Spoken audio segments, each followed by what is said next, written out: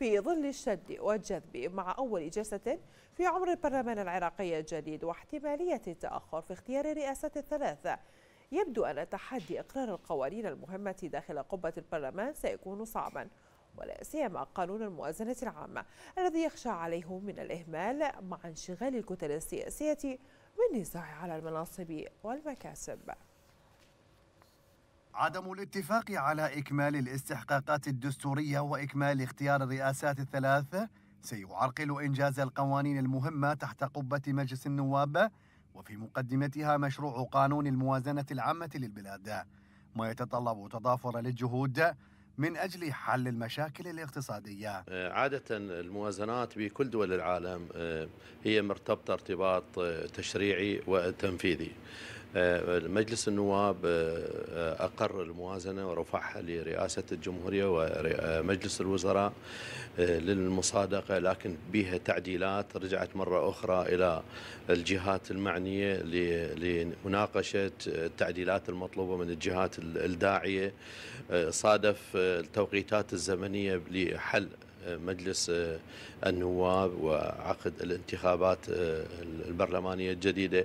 هذه كلها مرتبطة ارتباط إداري آه، وسقوف زمنية معدة يعني ضمن التشريع القانون العراقي. فأكيد هي تأخرت نعم لكن ظروف العراق ظروف استثنائية أكيد. ليست هذه المرة الأولى التي تتأخر فيها الموازنة العامة للبلاد في أروقة مجلس النواب والوزراء.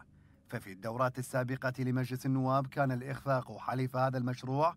لذلك تحدث المراقب للشأن عن إمكانية تكرار سيناريو 2014 إذا استمرت الكتل البرلمانية بحواراتها السياسية متناسية مشروع قانون الموازنة وأهميته لشرائح كبيرة من المواطنين. يعني بالتأكيد هو ليست المرة الأولى ولا الأخيرة تأخر الموازنة تعودنا عليها.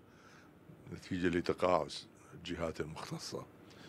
آه، عندهم صلاحية بموجب قانون آه، آه، الدين العام و يصرف على الواحد على 12 من العام الماضي يمشي ضروريات ورواتب يكمل المشاريع إلى أن تشرع الموازنة. تعرف هي جاهزة من المالية ومجلس الوزراء. الآن عملية التئام مجلس النواب وإقرار الموازنة هذه المسألة الأكبر يعني. ومع ضبابية المشهد وعدم وضوح شكل الدورة الجديدة لمجلس النواب تزداد المخاوف من تأثير هذا التأخير على السوق والأسعار وإمكانية استغلال هذه الفجوة من قبل ضعاف النفوس في تحميل المواطنين عبء الاقتصاد المتعثر للبلاد.